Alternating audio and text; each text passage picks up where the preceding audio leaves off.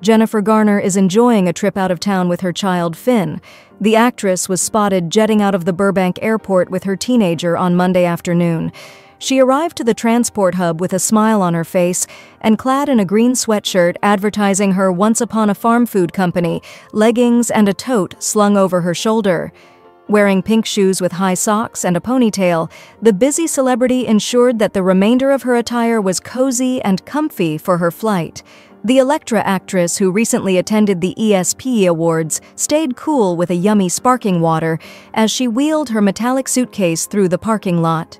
Eyes shaded behind fashionable frames, the actress flashed a contented smile as she approached the transport hub.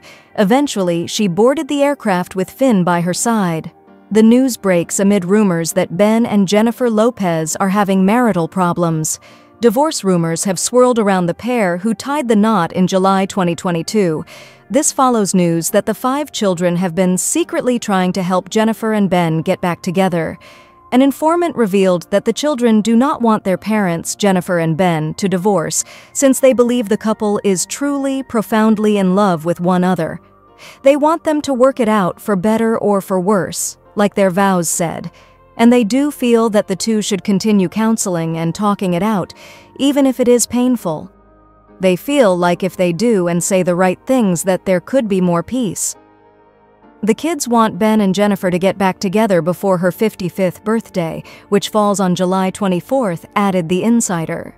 There is hope they could all celebrate together for a mellow family party in Los Angeles, added the source.